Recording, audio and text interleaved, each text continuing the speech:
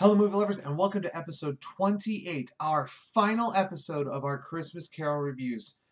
If you have not been watching, you really need to start from the beginning and watch all of these. They're not very long, five, ten minutes each. Um, you can catch them all. They don't have to be watching or you can just find out the ones that you want. But click the link in the description to get to the playlist and watch the introduction. But today, I'm not doing a review. We've already done our awards, picked our favorites, or picked the best. Now, I'm going to just give you a couple final thoughts before we part on this Christmas Eve. So, first off, my overall thoughts. There are many interpretations, many different ways you could have taken this beloved story of everybody, and I think all of them had at least something that could have done that they did well. There were a couple things here and there. Obviously, there were a lot that I pointed out on these different ones that did not work and probably took away from the story or were not exactly the best. But I think everything you can find something good. And of course, the story itself. I mean, it's just brilliant. You start with this old man. He's mean. He's mean. And then through sight and vision of how he came from one, he sees what he could be now, and then what happens if he doesn't change. And then all of a sudden, overnight, boom, he's good and he finds the true meaning of Christmas. It is the epitome of Christmas stories and just fantastic. And like I said, after watching it so many times, I still enjoy the story. I will go back and watch many of these again. But every single interpretation has something good. Now, obviously, along the way, we had a few disappointments. Okay, uh, one of them that I was actually looking forward to, I don't think I did a very good job in my review of telling you how much I was looking forward to this, was the Vincent Fagan, the 2012 um, interpretation of it, where it was supposed to be darker. Um, I, I, was really looking forward to it being, you know, uh, to show the fear in everybody's eyes, the ghost, and how bleak Scrooge's life was. And then what, what really lost it for me, besides just the cinematography, if you go back and watch that review, you can check that out. But um, the, besides that, what really got me was when he turned good, there was no change. I mean, he was still just that bad. And if they had that dynamic change, I think you really could have gotten it because this is a ghost story. I mean, the title that was on the original book says it was a ghost story. So it is a very, very horror-based movie that I think lost a lot in some of these because they didn't actually play to that ghost side of it and go to Scrooge's fear. Um, but you know that that was one that tried and didn't quite do it. Another one that was kind of a disappointment was the stingiest man in town. First off, I love Walter Matthau. Um, I've always enjoyed him and his acting in uh, Grumpy Old Men. Um, I actually enjoyed him in Hello Dolly. Uh, if you've seen uh, the Dennis the Menace movies, I thought he was fantastic in those. I've always really enjoyed him as an actor. But in this role, I, I feel like some of the screenwriting and some of the choices that were there were too too away from the story. And I think that the fact we had the whole Santa thing was an issue. Um, but if you watch my review, you'll know I do I did enjoy the inclusion of "Birthday for a King" that song. But I think just that, and then concentrating on BAH humbug was really kind of a, a downer on that part. I was really looking forward to. I've always enjoyed the Rankin and Bass as well. So when I saw Rankin and Bass was doing a Christmas Carol, I'm like, oh, they're like the they're like the best of Christmas specials. So this one's going to be good. And it was really just it was a letdown. Okay, Tim Curry. I love Tim Curry as an actor. Okay, another one that I was really looking forward to. And I really think, as I said in my review, that Tim Curry did a great job. But I thought a lot of the choices like the addition of debit and then um, the, the, the screenplay writings, that really just took it down. And nothing that Curry could have done could have probably saved that one from the writing that it had. So that was also downplayed. But obviously, we all remember what probably the biggest disappointment was. And that was the Christmas special in which Vincent Price played the narrator. I was so looking forward to that. I absolutely love Vincent Price. Like I said, I have actually a plan to do a series based around Vincent Price's movies and something else um, with that. And you we'll get onto that later. But still, I, when I saw this, it's like, oh, Vincent Price is going to be able to um, narrate these this ghost story, much like the Vincent Fagan thing. I was like, oh, they're going to show the dark side. And all of a sudden, we're going to go to it's not like Star Wars on the dark side, but and we're going to show the darker side of the story, and then we're going to move on to something that's really good because Vincent Price, I know, can do both. And then it just wasn't there. It wasn't very good. So those four, I think, were the pro probably the biggest disappointments that I had throughout this entire process. But you know, I mean, there were a, a few other places here or there that really weren't. But I had such high expectations for a lot of those, and they just didn't live up. Then a couple surprises. Some ones that I thought, oh, this is just, it's, it's going to be okay. And then I was totally blown away. The, probably the biggest surprise that I had there was Rich Little. Okay, I've watched some of Rich Little stuff. I knew what he was. I knew he was good at what he does. But the way that he worked the story with those characters, I was just like, holy cow. I was rolling. I was just laughing so hard while watching that. It was so great. It is so finely done by such a talented man.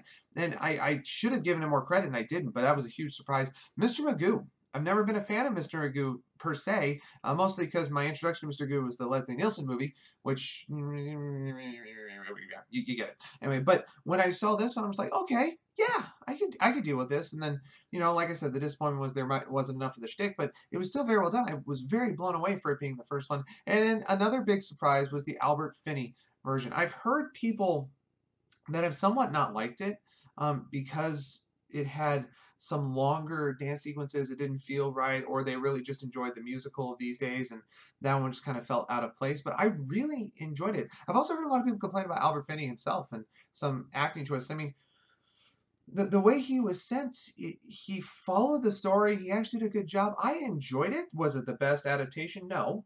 No it, it wasn't. It was up there. I, I highly enjoyed it individually but i, I mean I, I thought that it should have received more credit than it did. Um, but some people apparently don't like it, and everybody's entitled to their opinion. I'm not going to judge anybody's opinion, but for my personal sake, I actually did enjoy that movie quite a bit.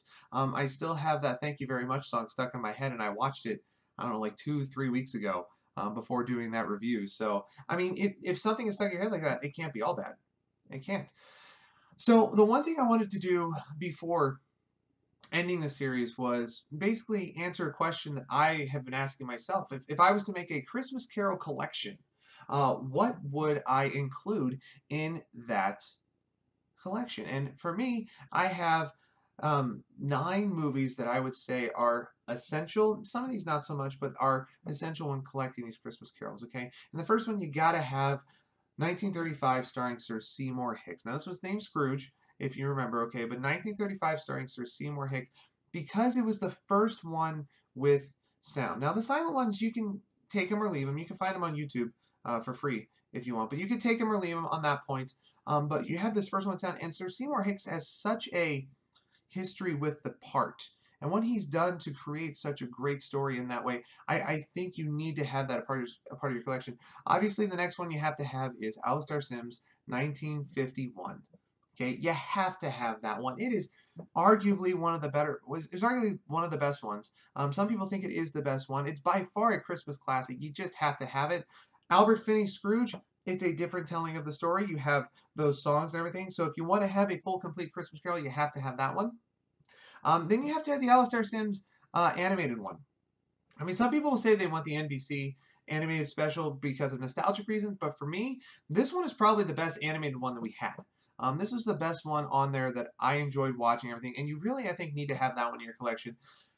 And then the, the one that's really just adorable, you have to have, especially if you're a fan of this genre, is Mickey's Christmas Carol. If you enjoy Disney, you have to have that one. And personally, I think that's actually a really good adaptation, especially for children. But we'll get to that in a little bit. Okay, and then you have to have what is by far my favorite, the one that I absolutely loved, was 1984's George C. Scott's version of A Christmas Carol. That one has to be there. It is everybody's top five list, if not their best one. So that one needs to be there. And then because I'm just me and I, I do love this one, I would not have a Christmas Carol collection without a Muppet Christmas Carol. I still absolutely love that one. It's probably my personal favorite if I was going to just pull one out that I want to be entertained and laugh along, you know, that would be the one I choose. Um, then you have to have, in my opinion, Christmas Carol the, mu the musical. While it wasn't the best adaptation and probably could have had a lot more and left a lot to be desired, you have to have that one because that is the version that is going around these days. That is the one that is um, touring, has a bunch of different people playing it. It's traveling to all different cities. Um, it's here in Kansas City, I, I think, uh, this week and next week. So, I mean, all of that, you have to have that one there just to get the music, just to learn the music, understand the words, everything. And then the last one I think you really need, um, if you're going to have a full uh, Christmas Carol collection, is the 2009 version with Jim Carrey. While a lot of people found it contradictory, it is still the closest to the book that I have watched on this one. Um, so if you're going to have one that you want to be close to the book and show um, either kids or friends or family one that really covers the book, you have to have that one. It's really, really necessary. So those nine are the ones that I think you really need to have if you want a complete Christmas Carol collection. Obviously, you can get all of them. Um, you don't have to get any of them. It's, it's up to you. And you may disagree with me. That's fine. Everybody's entitled to their opinion. But for me, that's what it is. Now, the other one that I actually have been asked um, by some of my coworkers is what version would you show first? Okay, especially when they watched my um, The Man Who Invented Christmas, they said don't have that be the first version that the kids see. For me, my first version that I would show kids, especially since um, of the people I know and everything, I would show them Mickey's Christmas Carol. Okay, and there's two reasons for this. First off, most of them will have beloved characters in the Disney characters and everything. Um, so obviously they know that. They have sort of a connection to start with all, right there. But the main thing that it is, is besides being entertaining, is it's relatively short. It's 25 minutes at 24, 26, somewhere there, but 25 basic, basically. It's so it's short enough that it can keep their attention span. They get the story. It really didn't take anything away. And like I said, it had those beloved characters. Um, so you can go from there. And then if they enjoy that one and they're starting to get a little bit older and can sit for a little bit longer, I'd move them on to a Muppet Christmas Carol um, just because once again it's entertaining. Um, there's jokes that uh, not they might not get, but you'll get, but they'll get eventually. I mean, it's it's perfect, it's brilliantly done there, and I, I think that would be the second one before moving them on to the more dramatic ones. Um, if you're trying to find a first dramatic one, I think a transition with the Jim Carrey version from 2009 would be good, but then possibly going to Alastair Sims. Um, because George C. Scott's version tends to get a little dark, and depending on what age your child is, you might not want that um, immediately. So, Anyway, guys, before I sign off for the last time here on my Christmas Carol reviews, I have to say I have really enjoyed this. I hope you enjoyed these as well. Um, I know I didn't hit every Christmas Carol adaptation. Once again, there were 213 of them. I couldn't hit all of them. But if there's one that you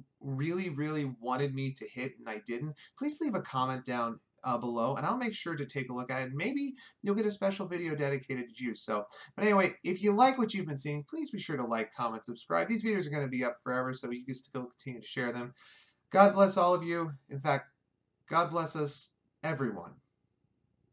And that's a wrap. God